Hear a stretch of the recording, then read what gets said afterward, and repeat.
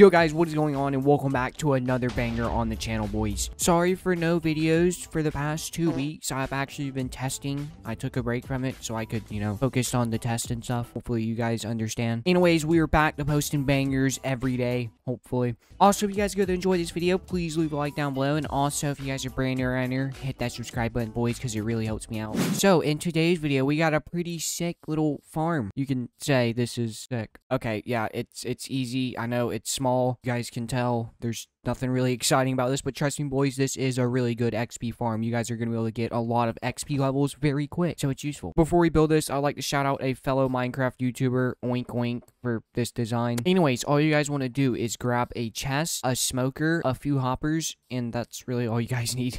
First thing you guys are going to do is put a double chest down, just like this. Come to the back of this chest, put two hoppers, so those two hoppers are going into your chest. Next, put two smokers on top of those hoppers. Then put a hopper on the right side and the left side as well, and then on top of these two smokers. Then you guys want to put a chest on each of these hoppers, so two right there, and then also two up here. So basically, these two chests on the sides right here are going to be your fuel, so you guys are going to put like coal and stuff in these two chests. And on the top, this is where you guys are going to put your potatoes in here, and you guys are pretty much done. All all you guys want to do is grab a lever as well so you guys can lock these smokers. Yeah, so what we're going to do is we're going to put a block of coal up there, and then we're also going to put a potato in there, and it's ready to go. Oh, I I just realized that I put these two in the, the wrong spots. Um, okay, so the block of coal is supposed to go in the sides, and the potatoes are supposed to go up here. I think I said that in the beginning, but yeah, that's what you guys do. And then to get the best results from this, what you guys want to do is, first of all, we need some more potatoes. We'll just grab more of these. So boom, what you guys want to do is actually let these two fill up till there's like 64 of them, and they should be going in the chest right now. I think